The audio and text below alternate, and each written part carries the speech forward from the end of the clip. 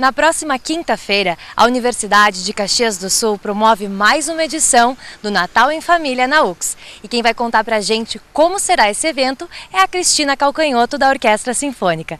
Cris, conta pra gente então, o que, que vocês estão preparando para a comunidade nesse espetáculo?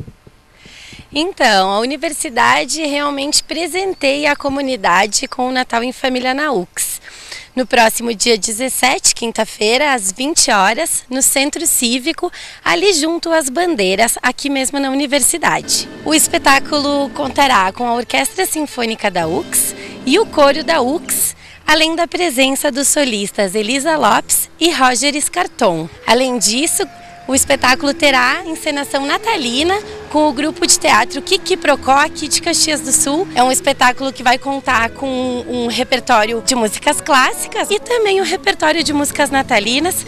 E a gente faz o convite então que a comunidade venha prestigiar, porque em caso de chuva o espetáculo acontecerá dentro do centro de convivência. E no mesmo dia também tem o lançamento de um outro evento muito bacana que a orquestra participou, não é?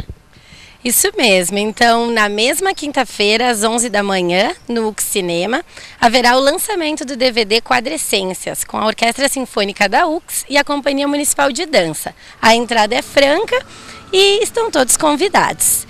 Uh, vale ressaltar que os dois projetos, tanto Natal em Família na UX quanto o DVD Quadrescências, são projetos financiados pela Lei Municipal de Incentivo à Cultura e o Natal em Família tem o apoio cultural da Unimed Nordeste e o DVD tem da Unimed Nordeste e da Racon Consórcios. Bom, então lembrando que os dois eventos têm entrada gratuita e mais informações no site ux.br.